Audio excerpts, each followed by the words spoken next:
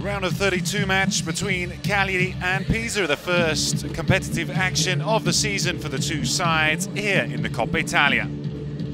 Pisa from Serie B with a big task ahead of them, travelling to Sardinia. Are they going to be able to take down Serie A opposition of Cagliari, led out by Joao Pedro?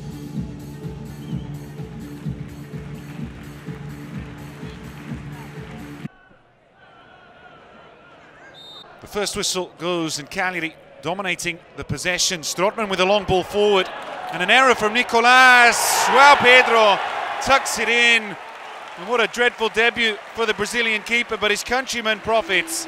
He puts it in the back of the net and opens the scoring. It was a well-weighted ball from the Dutchman, Strootman.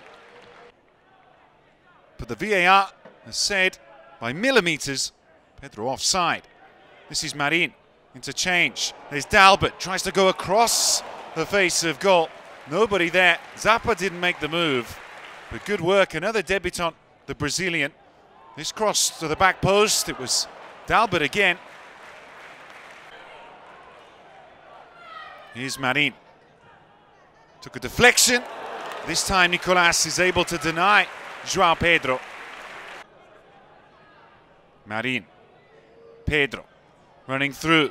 Defense doesn't deal with it. Marin goes round the keeper. And that goal certainly will stand. The Romanian, it's the first of the campaign for Cagliari.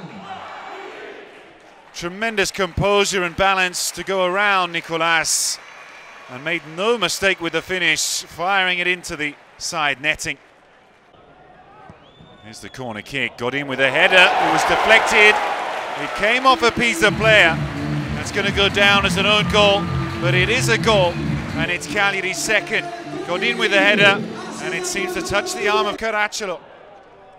Now the cross in from Carboni, and Deiola waiting at the back post. The two Sardinians combine at the end of the first half.